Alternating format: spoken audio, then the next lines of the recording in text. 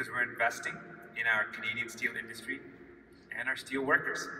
Through the Strategic Innovation Fund, uh, ArcelorMittal will receive $50 million to support a $205 million investment in this facility right now.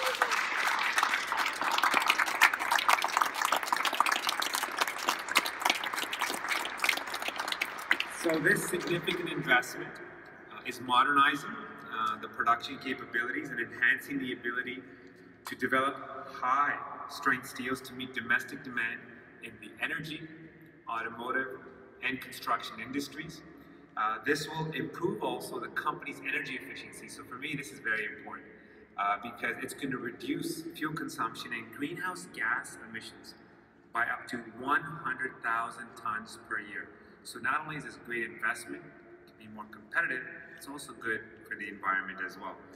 Thanks to this investment, uh, ArcelorMittal will support the 6,400 jobs here in Hamilton and in Quebec as well. And more importantly, there's a longer term component to this, ladies and gentlemen. It sows the seeds uh, for future growth and innovation in the steel manufacturing as the industry creates and adopts the technologies of the fourth industrial revolution namely the use of automation with data exchanges that is so critical to every aspect of our economy, particularly in manufacturing. And I think this just speaks to the company's DNA. Uh, since it was founded in 1912 and since its production, I think in 1928 in Canada, uh, for 1912.